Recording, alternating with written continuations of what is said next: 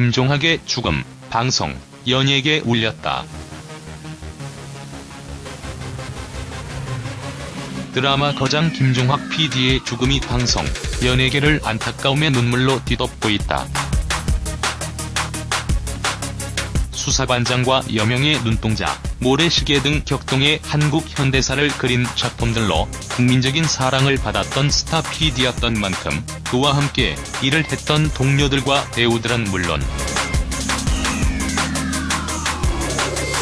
직접적 관계는 없었지만 그를 선망했던 후배들까지 애도를 표하는 이들이 끊이지 않고 있는 것.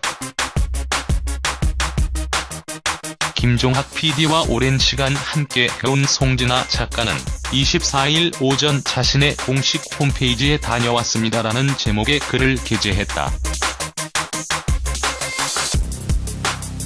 송 작가는 빈소에 다녀왔습니다. 아직 잘 모르겠습니다. 아침에 잠을 깨면 아 이상한 꿈을 꾸었어라고 말할 것 같습니다고 고인의 사망에 충격을 표했다. 그는 박상원, 최시라, 배용준, 이자, 김희선, 이민호, 류덕환 등 지난 30년간 시대별로 김종학 PD와 함께 했던 배우들을 언급하며 그분의 초창기 작품을 함께 했던 나이 지긋한 연기자, 스태프와 마지막이 되어버린 작품의 젊은 연기자, 스태프가 한 방 안에 다 함께 있었습니다.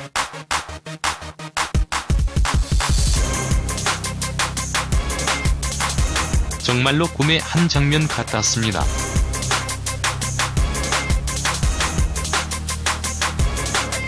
이렇게 다 모이게 해서 밥 한 번 같이 먹고 싶으셨던가 그런가요? 라고 빈소에서 느낀 안타까움을 전했다. 김종학 PD의 죽음에 애도를 표한 것은 그와 함께 일했던 동료, 연기자뿐만이 아니었다. 이성힐 감독과 MBC 해를 품은 달김도훈 PD도 젊은 시절 드라마로 꿈을 줬던 김 감독의 죽음에 안타까움과 슬픔을 표했다. 김도훈 PD는 지난 23일 자신의 트위터에 김종학 감독께서 스스로 목숨을 끊었다는 믿을 수 없는 소식에 하루 종일 멍한 기분이다면서 대학 시절 여명의 눈동자를 보기 위해 MT 날짜를 바꾸지 않으면 가지 않겠다고 선배들에게 떼를 쓰고 모래시계를 보며 드라마 PD의 꿈을 키운 나인데 라고 참담한 심경을 전했다.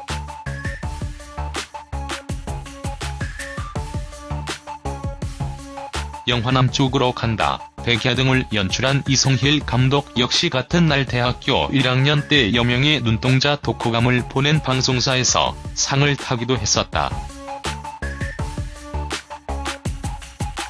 그만큼 그 드라마는 당시 획기적인 문화적 작점이었다. 김종학 PD가 한국 드라마에 끼친 영향이 참 크지 싶다. 아까운 재원을 하늘로 보내고 비는 내리고라며 애도의 뜻을 표했다.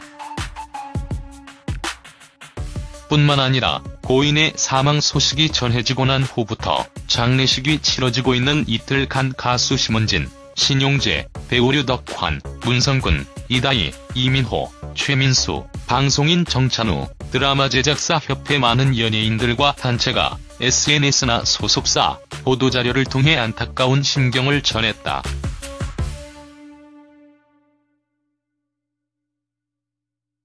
또한 서울 아산병원 34호실에 마련된 고인의 빈소에는 지난 23일 오후까지 배용준과 이자, 최민수, 최시라, 고현정, 조인성, 박상원, 독고영재 등 함께했던 많은 배우들이 찾아 거장의 넋을 위로했다.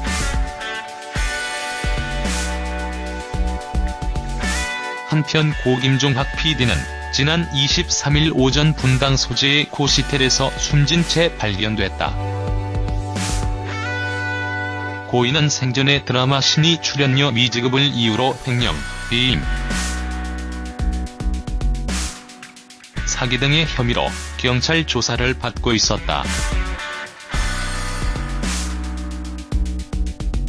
고인의 빈소는 서울 아산병원 34호실이며 발인은 발인은 오는 25일 오전 8시다. 장지는 경기도 성남 영생원 메모리얼 파크로 정해졌다.